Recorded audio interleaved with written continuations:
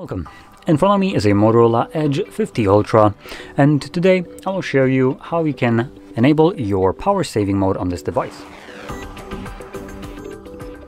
To get started, you'll want to pull down your notifications by swiping down from the top of your screen and then swipe down once again to extend the list of visible toggles. Next, on one of the pages we should have the power saving toggle. Let's see if I can quickly find it.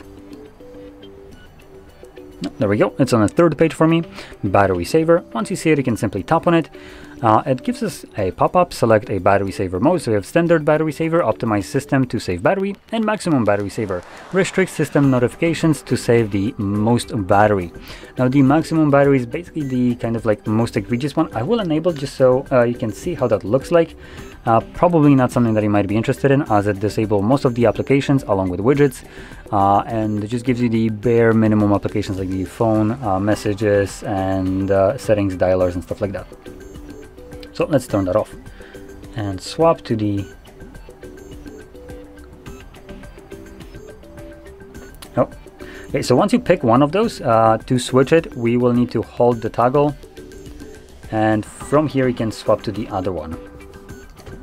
So uh, once you have the standard selected, you can now toggle it on. This will be toggling on the normal uh, battery saver.